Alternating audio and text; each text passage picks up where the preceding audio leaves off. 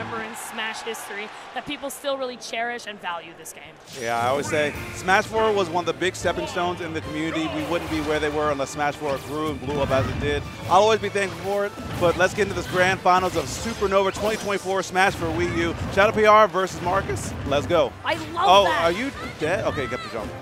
Okay, uh, yeah, don't forget that little bump that Ness can do on that side. Not only does his head is quite the noggin, but it's gonna go and bump him to where he needs to. That cap was extra waxed. Yeah, sheesh. I need to give me one of those, all right? Whatever Yeah. Ness is wearing, let me get that. The make is unbelievable. He's working on it. Yeah. we need we need a franchise or Ness. We need, we need a brand deal.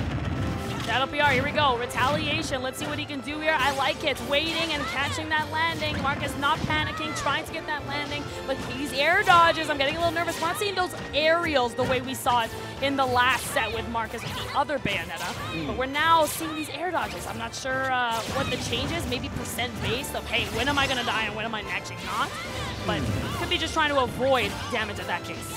Oh my, oh. my oh, friends! No. My and friend. charging it up. Bye. Nice. See ya. Bye, Bayonara.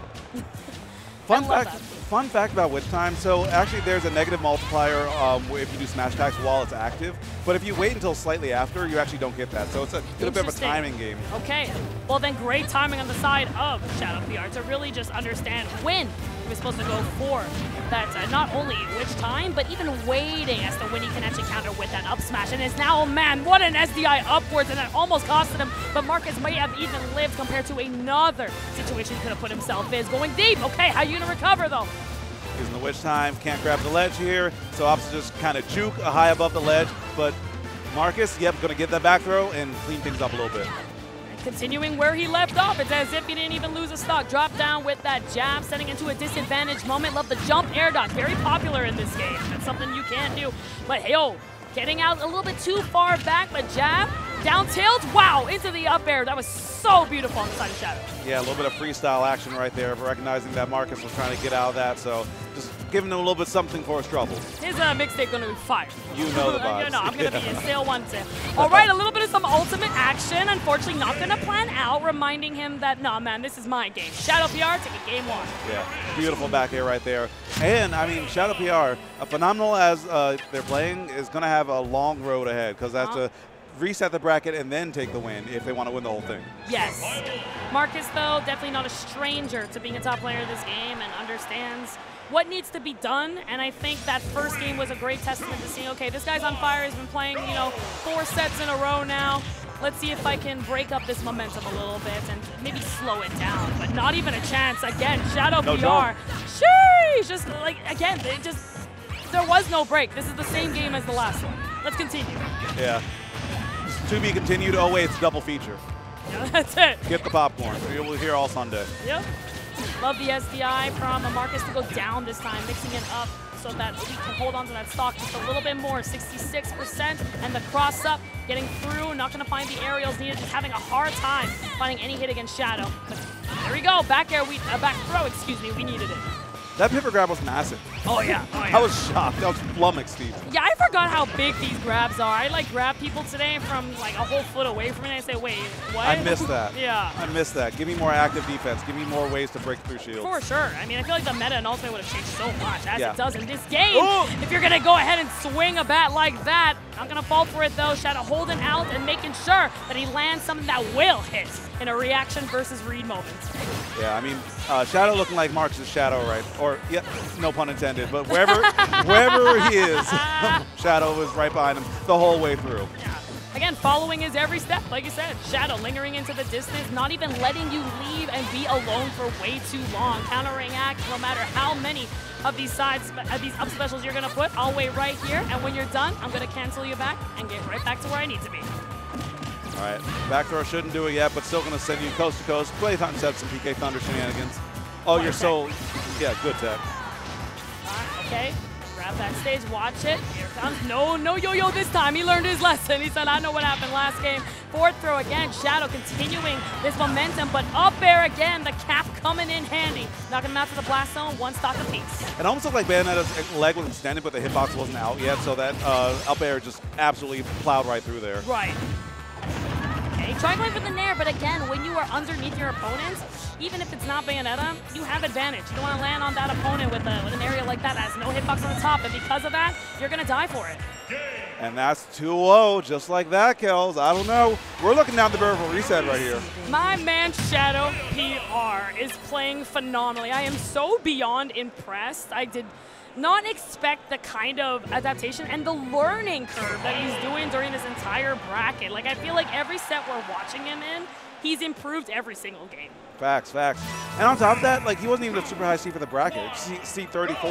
Oh my God, brother! Like no one could have predicted this. He would have. He will never be seated 34 ever again. And yeah. I hope people remember his name. Shadow PR continuing to start off Smashville quite strong, opening up with the 23, but the rebuttal, Marcus not wanting to let go of that trophy of holding into first place in the grand finals. He does have an entire set up ahead of him, so it's not over yet.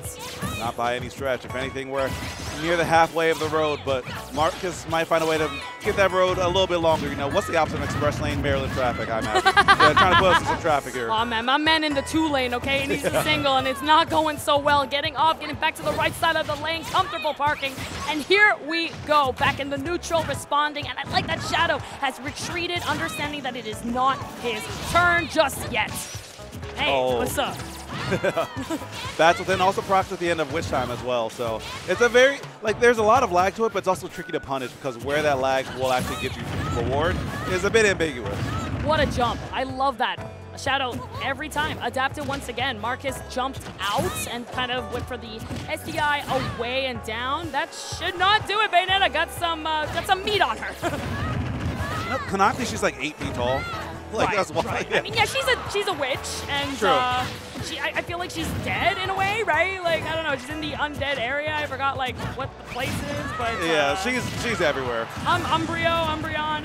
I, don't, know um, where she is. Umbra Witch. Yeah. Umbra yeah. Witch. There you go. Okay, the girl is dead. You can't kill what is already dead, and that's what makes things a little dangerous. But that fourth throw says otherwise, and making sure that you go back to where you belong because this is my game, and the side of Marcus looking so clean. But here's the rebuttal coming in from Shadow. Excellent DI right there. Able to survive that back air even coast to coast.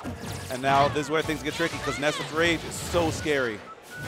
Whoa, whoa, whoa. How are you going to recover? I love that. The bait, thinking I'm going high and then just dropping down. Oh, great job. Down tilt up air, classic to bring it back to this last stock. Again, the momentum, right? This, this constant adaptation looks so good on Shadow. Yeah. Good stuff. That's really good stuff. But going to be forced to a lower cover here. And ooh, what a mix right there. It's working all the angles. Bayonetta knows what she's doing with that, though.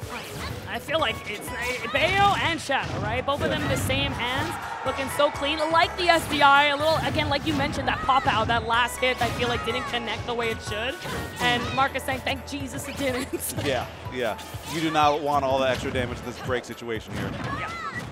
Man, these two phrases, these kind of this window of whenever you're going to air dodge, I'm going to counter you right back, right? The frame traps looking so clean on the side uh, of Shadow PR. Right, nice and air. Just going to hang out there with the PK Thunder, and there we go, rinse and repeat. I don't think any resources got back, so yeah, you just have to go high and pray for the best. Luckily, though, that platform on the side of Shadow PR, I'm here for you. Here you go, bro. I land right here. I'm feeling good, but this back throw is not going to save you. Instead, taking it finally game over for Marcus. Yeah. So, one on the board. Again, start of the road. Marcus has a way to go to take this uh, tournament. Needs to win at least two more games in this set. But Shadow, I mean, it took a lot. It took two games in your counter or your opponent's counter pick for them to be able to take a game off you. Yeah, yeah. So you have to be feeling pretty confident. I think that game, he was maybe feeling overconfident, right? I feel like even though he was playing just as aggressively, just as poised, his momentum felt a little bit more lazy of just, hey, I'm to do this, but I can get away with this. So he kind of overextended in some areas that maybe he shouldn't have, and I think that's where Marcus took advantage and said, yo, let me remind you who I am. And that's why we're seeing quite the markup here on the second game. Oh, oh, oh, oh. Yippee! No home run there, unfortunately, but running back to second base and taking the hold of this chapter and pulling you out, making sure that I'm letting you know I'm still in this. Right, but even still, the mix is still going. Shadow PR just taking a ton of damage. Marcus is in complete control right now. The PK Thunder seems to be a big make or break. Fishing for an air dodge, not giving anything up. Shadow could jump center stage and get some good damage here. Battlefield has big blast zones, so yes. you know you don't have to worry too much about getting killed or janked early by Bayonetta or uh, Bayonetta, but it's still going to be like a big problem here. Yes especially the way that we've been seeing Shadow PR. I mean, he's won every game on Battlefield. He's played so well here. His momentum, his way of moving is so clean that we'll definitely take the stock, though. And it comes down to the patience once again. I think now Shadow may be exerting too much of that energy of I'm in your face. And Marcus is just staying calm and keeping his energy in reserve and is now exploding in the way that we wanted to see him in the beginning of the set. Absolutely, absolutely. All right, forcing a lower recovery here. That Nair, Swiss Army knife of this matchup. But Marcus not having enough steam to use the PK Thunder 2 to get out of dodge. But to take some damage, oh, that was scary. That was scary, kill. Yeah, a little bit. I felt it. I, I, got a little bit of some goosebumps, but uh, Shadow definitely did not hang it into the edge of glory and hang to just not get hit out into the blast zone. Try to put out a forward smash. Marcus denying it. That forward smash, Sheesh. I respect how Shadow's willing to uh, swing for the fences, though. You know, you got to put that fear in your opponent. Make sure that they know that you will do it if you give the opportunity. For sure. Down tilt up air is going to be enough and still a stock to play with. But Shadow PR, healthy bit of rage. I think weathered a bit of the worst part of the storm. Yeah, that's it, right? You got to keep in mind that you're the best character in the game, and uh, Marcus that kill percent. So keeping that in head, I think that's going to be an opportunity here. But I like that this time, respecting that it's not his turn and went to the stage, but unfortunately just overextended a little bit, and that's why Marcus got what he needed. Back throw won't be the KO here, but quite close. One more of those will definitely do it. Yeah. There it is. Or an up air as well. And there we go. We got ourselves a game five of Grand Set 1. Man, I love this game. This like, that so was cool. a two minute set. Let's just, like, that was a two minute game. If you went to the bathroom and came back and now you're at a 2 2, like, that's how fast this game goes. So don't go anywhere. This is a great grand final between these two. The adaptation from Ness in the hands of Marcus is phenomenal. All right, and it all comes down to this. Will Shadow PR, PR be able to get the reset? I'm not quite sure. It's starting to lose some steam, but you just need one more game. It's a fresh bracket, fresh set. You need to get yourself back in it, lock back in, and this could be it, Kels. This could be the end of the tournament here. It all comes down to this. He's feeling it. Mark is definitely playing more himself the way we saw the other time. I feel like in the beginning we were seeing a lot of those air dodges and these these decisions you don't see too much. I thought we were going to see a forward smash, but an F tilt instead comes out. Overextension, though, that's an opportunity. And falling out. Great stuff. Marcus, even though made a mistake, was not going to let it go to him. Now, you're not going to get that air dodge, man. He hasn't given it to you, so it's probably not coming. Yeah, I mean, you have to work for every single thing in this matchup, and the fact that um, these these players are not scared enough to go for these air dodges is pretty huge.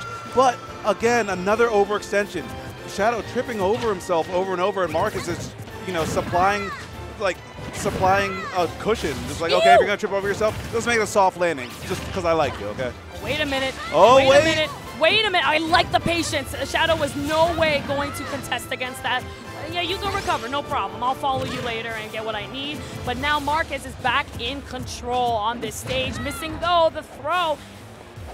See if he can get something out of these back airs, these sharks. That's what we've been seeing on the hands of Shadow. That's what's been so good. Forcing out an air dodge. Here you go. No jump. Okay, going for the ABK this time. Or we got it back here. There it is. Time. Finally. And line it up. Knock it down. There we go. Shout out PR for evening things up. I love the head shake too, right? The way that Shadow was just like, okay, no, you're still in this. Like, we can take this at any moment now. One more. Yeah, it's legitimately a, a cutscene. You're in Witch Time for a very long time. Oh, yeah. It's beautiful. You can, like, bite your nails, like, take a walk, whatever Yeah. you need. That's your time to breathe. Yeah, meditate, think about life. That's it. Okay, I like it. Patience, Shadow PR. We haven't seen this. Again, adapt adapting here on the ledge. Watch it, though. That's a multi-hit. Shadow recovering. Here we go. Going up, up, and away. Not going to be the blast zone that you need. Battlefield coming into Marcus's hand. Yeah, almost a bracket reset right there, but Marcus lives to die another day. Back throw won't kill, but it will put you in a very bad position to get some more damage by the PK Thunder. But Marcus not able to line up quite right as Shadow gets the Witch Twist. This could be huge, but nothing doing. That's a lot of lag kills. How are you going to recover? I feel like I wouldn't be so worried about Bayonetta, but my gosh, I've never seen it more than that. Ladies and gentlemen, Marcus just won Wii U singles with Ness. Amazing work. At the moment that you or that uh, Shadow was lined up on that platform, I was like, I think Ness covers all this with an up air. Yep. That's it. A check, check, checkmate situation, and that's what Marcus was so, doing so good at setting up over and over. Ben has a strong character with a lot of options, but when you put her in the, these tech chase situations and put her in these awkward uh, areas, Marcus was able to capitalize on it over and over. Got the medals out already, and amazing work winning the whole thing. That's huge. His friends too, there for congratulations to Marcus. I mean, he's wanted this for so long. He's loved this game for so much, so well deserved. Even though I loved seeing again Shadow slowly adapting, it was just a bit too late there. I don't think he had enough steam to really bring it home, and he was put in that tech chase situation that was just lined up, like you said, for that home run. Mm. It was great, and I loved seeing even just how the crowd was so engaged too, right? Everybody was watching Wii U, and especially Ness taking it over Bayonetta. That's such a statement here at the first Supernova. I think uh, that, that that's quite the explosive feat that you can put out. Absolutely.